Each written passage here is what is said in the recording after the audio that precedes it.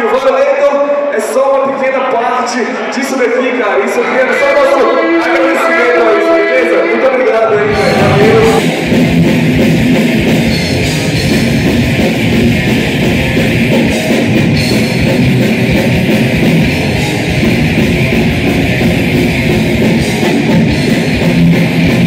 anos fazendo thrash metal, old school, cara,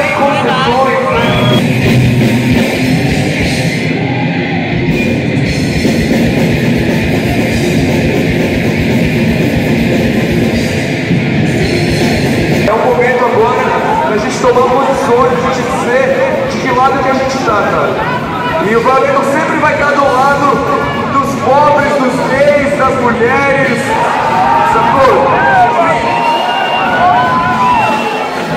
Do lado que eles não estão, a gente vai estar, cara.